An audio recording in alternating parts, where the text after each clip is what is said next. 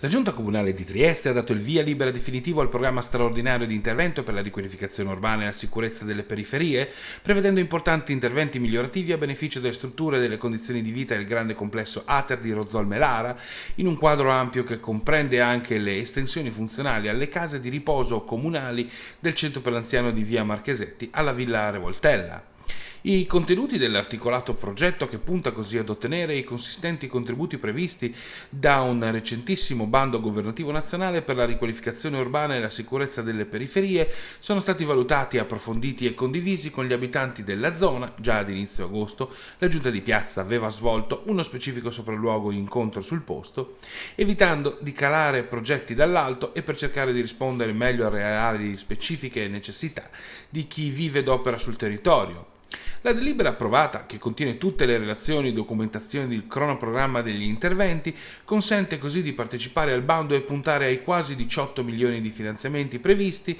6.7 milioni di euro per interventi comunali, oltre 11 milioni per interventi ATER e 125 mila euro per interventi APS e AMGA.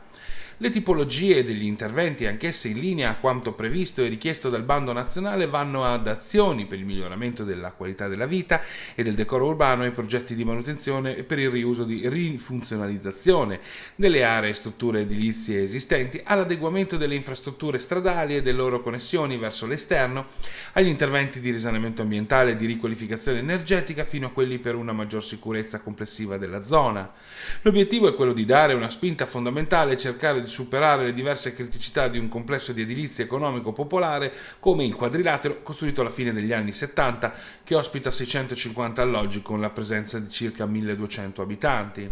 In particolare il programma elaborato dal comune per lo Zolmelara o meglio per l'insieme delle diverse progettazioni che lo compongono prevede una serie di interventi sulle parti comuni del quadrilatero sia interne che esterne tra i punti fondamentali la riqualificazione delle aree verdi esterne con la possibilità di crearvi aree ludico-ricreative e ciò anche grazie al recupero funzionale della grande autorimessa seminterrata già esistente ma attualmente non utilizzabile per carenze inerenti all'antincendio e alla videosorveglianza. Videosorveglianza che è previsto si estenda anche alle passeggiate interne per aumentare la sicurezza degli abitanti, scoraggiare atti vandalici, parcheggi selvaggi e così via. Un altro significativo intervento è poi quello di recuperare gli ampi spazi abbondanti e sottoutilizzati che si ritrovano lungo i collegamenti principali del complesso edilizio, anche rivitalizzando gli stessi mediante l'inserimento di un'attività culturale come un'emeroteca, biblioteca di quartiere da insediare in uno spazio attualmente inutilizzato all'interno del collegamento centrale con circa 200 m2 disponibili su due livelli. Una struttura questa che potrà diventare un importante elemento di aggregazione sia per i residenti che per i frequentatori del vicino complesso scolastico.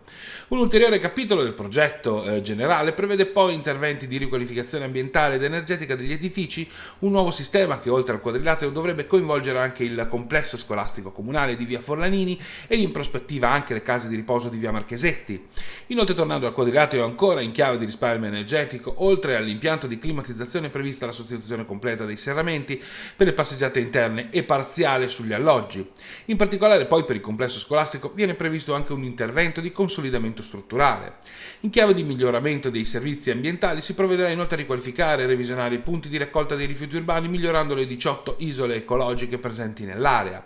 Un'ulteriore e non trascurabile parte di interventi riguarderà il miglioramento dei collegamenti pedonali e delle infrastrutture viarie con l'obiettivo principale di mettere a sistema i servizi esistenti. Le scuole, il ricreatorio, le case di riposo ma anche le aree verdi circostanti e lo stesso parco di Villa Revoltella, collegandoli meglio a beneficio di una loro migliore fruizione a favore innanzitutto di mamme, anziani, giovani. Punto rilevante in tal senso sarà la sistemazione degli assi principali di scorrimento, ovvero le vie Forlanini e Marchesetti che necessitano anche di un adeguamento dei marciapiedi e della creazione di attraversamenti pedonali protetti. Tra le altre opere previste l'installazione di nuovi impianti elevatori sul lato di via Forlanini, la migliore riqualificazione e frequentazione dell'intero complesso con la rivitalizzazione dell'esistente anfiteatro di pietra, l'atteso ripristino del campo di bocce ed il rafforzamento complessivo dell'illuminazione.